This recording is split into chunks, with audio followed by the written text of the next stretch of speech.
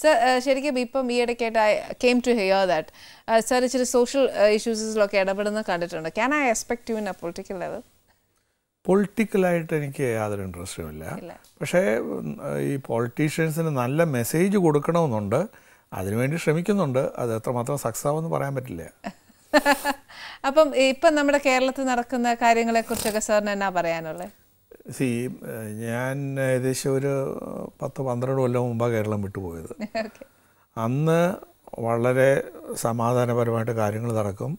അഴിമതി എന്നുള്ളത് വളരെ ലോവർ ലെവലിൽ വല്ലതും കേൾക്കുന്നതേ ഉള്ളൂ. പക്ഷേ ഇന്ന് അതൊക്കെ മാറിയിട്ട് ആളുകൾക്ക് സഹിക്കാൻ വയ്യാതായിട്ടുള്ള ഒരു കണ്ടീഷനായിട്ടുണ്ട് ഇവിടെ ഡെവലപ്മെന്റ് ആക്ടിവിറ്റീസ് ഒന്നും നടക്കുന്നില്ല. കറപ്ഷൻ അങ്ങേയറ്റമായി കഴിഞ്ഞു ജാതിയുടെയും മതത്തിന്റെയും പേരിൽ അങ്ങോട്ടും ഇങ്ങോട്ടും തല്ലുകൂടുന്നുണ്ട്. അപ്പോൾ ഇതെല്ലാം മാറി കിട്ടണമെങ്കിൽ ഒരു ഒരു സോഷ്യൽ റെവല്യൂഷൻ തന്നെ ഇവിടെ വരേണ്ട ആവശ്യമുണ്ട്. ഇപ്പോൾ ഉള്ള പൊളിറ്റിക്കൽ പാർട്ടീസൊക്കെ അവരുടെ അജണ്ടയൊക്കെ മാറ്റി എഴുതി നല്ല ആളുകളായിട്ട് ജനങ്ങളെ സേവിക്കാനായിട്ട് തയ്യാറെടുത്ത് മുമ്പിലേക്ക് വരണം. അത് ശരിയാ. ഓ സർ കഴിക്കണം. ഇനി കുറച്ച് ചോദ്യം കൂടെ ഉണ്ട് ചോദിക്കാൻ സാറിന്റെ അടുത്ത്. അമ്മ കഴിക്കണം അമ്മ? അമ്മയുടെ നാട് എവിടെയാ അമ്മ? ഞാനൊരു പത്തൊമ്പത് വർഷമായിട്ട് ട്രിവാൻഡ്രത്ത്. അമ്മ ജനിച്ചു തൃശ്ശൂര് ഓക്കെ. സാറിന്റെയോ ഞാൻ നേരത്തിലാണ് ജനിച്ചത്. വളർന്നതൊക്കെ ഇവിടെ തന്നെ ട്രിവാൻഡ്രം തന്നെ. ട്രിവാൻഡ്രം. ഓക്കെ. സ്കൂളിൽ സ്കൂളിൽ സാർ ഏത് സ്കൂളാണ് പഠിച്ചേ? ശാസ്ത്രമത്തെ രാജാ കേശവ സ്കൂൾ. അത് ഹൈസ്കൂൾ ലെവലിൽ പ്രൈമറി സ്കൂളൊക്കെ അമ്മയുടെ സ്ഥലം തിരുവനന്തപുരം എന്ന് പറഞ്ഞിട്ട് കന്യാകുമാരി ഡിസ്ട്രിക്റ്റിലാണ് അപ്പോൾ സാറിന് കുഞ്ഞുനാളിലെ മുതൽ എന്തുവായിരുന്നു? എയിം ടു ബിക്കം നിങ്ങൾ ചോദിച്ചു കഴിഞ്ഞാൽ അന്ന് ഇന്നത്തെ പോലെ സംവിധാനങ്ങളൊന്നുമില്ല. ന്യൂസ് പേപ്പർ തന്നെ ഉച്ചയ്ക്ക് കിട്ടിയാലായി. വേറെ മാഗസിൻസൊക്കെ ആറും ഏഴും മാസം കഴിഞ്ഞിട്ടാണ് കിട്ടുക. ഓൾ ഇന്ത്യ റേഡിയോ അതായിരുന്നു ഒരേ ഒരു സോഴ്സ് ഓഫ് ഇൻഫർമേഷൻ അപ്പോൾ നമുക്ക് ആലോചിക്കാമെന്നുള്ളത് ഇമാജിനേഷൻ എത്ര വരെ പോകുന്നുള്ളത്. അന്ന് കണ്ടുള്ള ഏറ്റവും വലിയ ഡിവൈസ് എന്ന് വെച്ചാൽ കാളവണ്ടിയാണ്. പിന്നെ ഒരു series of events that took me to space എന്ന് പറയാൻ പറ്റും വാട്ട് ലീഡ് ഇത് ഒന്നാമത് initially itself I wanted do something different so probably that has made difference അപ്പോൾ എഞ്ചിനീയറിങ് കഴിഞ്ഞപ്പോൾ തന്നെ അറ്റോമിക് എനർജി പ്രോഗ്രാം പോകാൻ വേണ്ടിയിട്ട് ഇവിടെ നിന്ന് ബോംബെയിലേക്ക് പോയി. അത് അവിടെ തീർന്നു കഴിഞ്ഞപ്പോഴേക്കും ഒരു കോയിൻസിഡൻസ് എന്ന് പറയാം. ഇവിടെ Thumba equatorial rocket launch station പുതിയ ആക്ടിവിറ്റി തുടങ്ങായിരുന്നു. അപ്പോൾ അതിലേക്ക് ഓപ്റ്റ് ചെയ്തു. അപ്പോൾ ഇവിടെ വന്ന് ചേർന്നു.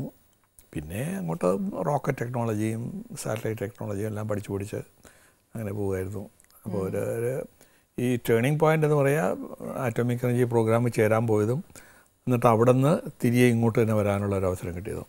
ഓക്കെ. സർ ഇപ്പോൾ റിട്ടയർമെന്റ് ലൈഫാണ്. സാറിന്റെ ഒഫീഷ്യൽ കാര്യം വർക്ക് ചെയ്തുകൊണ്ടിരുന്ന സമയത്ത് സാറിന് ഏറ്റവും കൂടുതൽ ഒരു അച്ചീവ്മെന്റ് കിട്ടിയ ഒരു ഒന്ന് ഇന്നിപ്പോൾ നമ്മൾ P S L workhorse launcher എന്ന് പറയുന്നുണ്ടല്ലോ. അതിനെ കൺസീവ് ചെയ്യാനും ഡിസൈൻ ചെയ്യാനും ബിൽഡ് ചെയ്യാനും ഒക്കെ കഴിഞ്ഞത് വലിയൊരു ഭാഗമായിട്ട് വരുന്നുണ്ട്.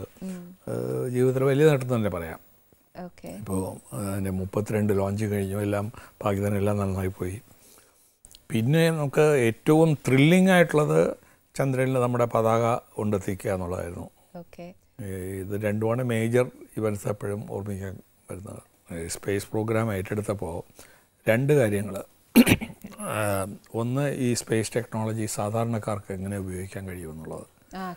അപ്പോൾ അതിന് വേണ്ടിയിട്ട് ഞങ്ങൾ ടെലിമെഡിസിൻ ടെലി എഡ്യൂക്കേഷൻ പിന്നെ വില്ലേജ് റിസോഴ്സ് സെന്റർ ഇങ്ങനെയുള്ള കാര്യങ്ങൾ ചെയ്തിട്ടുണ്ട്. പിന്നെ ഡിസാസ്റ്റർ മാനേജ്മെന്റ് സപ്പോർട്ട് ഈ സൈക്ലോണും മറ്റൊക്കെ വരുമ്പോൾ അതിന് വാണിംഗ് കൊടുക്കുക കമ്മ്യൂണിക്കേഷൻ സെറ്റപ്പ് ഉണ്ടാക്കുക എന്നുള്ളത്. അതൊക്കെയായിരുന്നു പ്രത്യേകിച്ചുണ്ടായിരുന്നത് ഭാവിയിലേക്ക് വേണ്ടിയിട്ട് മനുഷ്യനെ സ്പേസിൽ അയക്കാനും അതുപോലെ തന്നെ ഈ റോക്കറ്റുകൾ സ്പേസിലേക്ക് അയച്ച് തിരികെ കൊണ്ടുവരാനുള്ള അത്തരം പ്രോഗ്രാമൊക്കെ ഔട്ട്ലൈൻ ചെയ്ത് കൊടുത്തിട്ടുണ്ട്. അത് ഭാവിയിലേക്കുള്ള രൂപരേഖയായിട്ട് വരും എന്നുള്ളതാണ് പ്രിൻസിപ്പിൾ അപ്രൂവ് ചെയ്തിട്ടുണ്ട്. പക്ഷെ പൈസ വരുന്നില്ല പൈസ കിട്ടിയില്ല ബൈ പ്രിൻസിപ്പൽ അല്ലേ അപ്രൂവ് ആയത്? അല്ലേ? അപ്പൊ അപ്പോൾ ആ ഒരു വിഷൻ കൊടുക്കാൻ കഴിഞ്ഞു എന്നുള്ളത് എനിക്ക് സന്തോഷകരമായ കാര്യമാണ്. കറക്റ്റ് അറ്റ്ലീസ്റ്റ് മനസ്സിൽ വിഷൻ അറിയിക്കാൻ പറ്റിയല്ലോ. കറക്റ്റ് അത് പ്രിൻസിപ്പലി ഇറ്റ്സ് അപ്രൂവ്ഡ് ഓൾസോ അപ്പോൾ പിന്നെ എത്രയായാലും നമുക്ക് ഫ്യൂച്ചറിൽ അത് പ്രതീക്ഷിക്കാം അല്ലേ സർ സാറിനോട് ഇപ്പോൾ സംസാരിക്കുമ്പോഴത്തേക്കുണ്ടല്ലോ സാർ ഭയങ്കര സോഫ്റ്റ് സ്പോക്കൺ ആണ്. ഒത്തിരി സാറിന് അപ്പം ഈ ഒഫീഷ്യൽ ദേഷ്യപ്പെടേണ്ടി വന്നിട്ടുണ്ടോ? ഭയങ്കര സോഫ്റ്റ് സ്പോക്കൺ അല്ലേ അമ്മ? അമ്മ ചിരിക്കുന്നു. അല്ലേ? വീട്ടിലല്ലേ എന്നൊരു സംശയം. അമ്മ ചിരിക്കുന്നു സംസാരിക്കൂല അധികം അത്രേ ഉള്ളൂ. അപ്പൊ പിന്നെ സോഫ്റ്റിന്റെ പ്രശ്നം വരുന്നില്ല.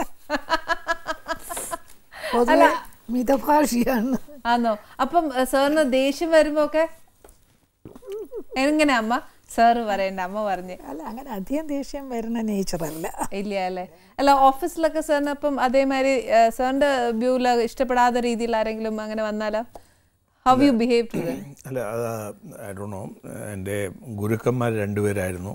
ഡോക്ടർ വിക്രം സാരാഭായിയും ഡോക്ടർ അബ്ദുൽ കലാമും. ഓക്കെ അതിൽ കുറേയൊക്കെ ഡോക്ടർ സാരാഭായിയുടെ ആ ഒരു ബിഹേവിയർ പാറ്റേൺ ഞാൻ കോപ്പി ചെയ്തിട്ടുണ്ട്.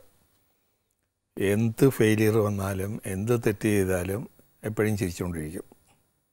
അപ്പം ഞാനും കുറേയൊക്കെ അത് കോപ്പി ചെയ്തിട്ടുണ്ട്. ചിലപ്പോൾ ഭയങ്കര ഭയങ്കരമായിട്ട് ദേഷ്യം വരും. എന്നാലും ചിരിച്ച് തോളത്തൊട്ടി സംസാരിച്ചൊക്കെ നിൽക്കുക എന്നുള്ളതാണ് ഒരു ശൈലിയായിട്ട് അഡോപ്റ്റ് ചെയ്തിട്ടുള്ളത്. Okay that has helped in achieving many things yes self achieving ആണ് അത്.